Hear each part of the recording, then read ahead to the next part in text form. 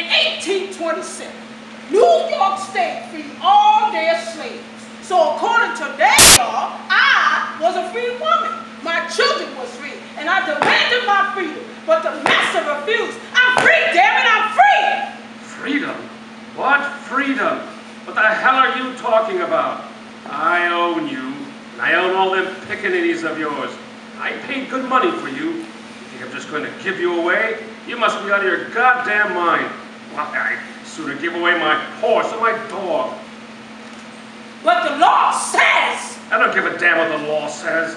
I'm the owner of this plantation, not you. Now go about your work, and I'll hear no more of this freedom nonsense. You're free when I say you're free. And believe me, girl, that won't be anytime soon. Did you hear me? I said move.